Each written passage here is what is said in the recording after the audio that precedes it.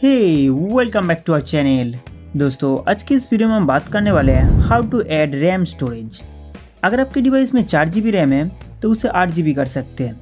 अगर छः जी रैम है तो उसे दस जी कर सकते हैं। सैमसंग की फीचर्स का नाम है रैम प्लस रैम मेमोरी बढ़ाने के लिए फ़ोन के सेटिंग्स में जाना होगा।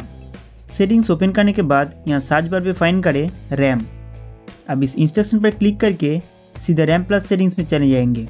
इसके बाद रैम प्लस पे टैप करना है। अगर ये फीचर्स ऑफ़ किया हुआ है तो इसे टर्न ऑन कर दीजिए। इसके बाद डिवाइस रिस्टार्ट करना होगा। रैम प्लस में कोई भी सेटिंग्स चेंज करने के बाद हर बार आपको डिवाइस रिस्टार्ट करना पड़ेगा।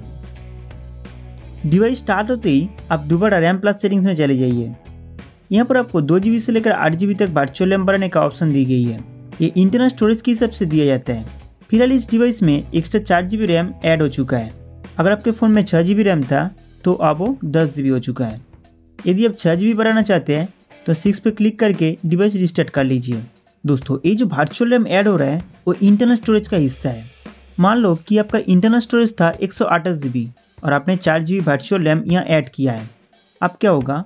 एक सौ से चार जी माइनस हो जाएगा। मतलब आप एक सौ इंटरनल स्टोरेज यूज़ कर सकते हैं। बाद में जब आप रैम प्लस ऑफ़ कर देंगे, तब स्टोरेज दोबारा इंटरनल मेमोरी के साथ ऐड हो जाएगा।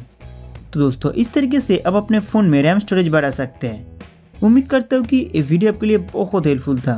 तो हमारा वीडियो देखने के लिए आपको बहुत बहुत शुक्रिया।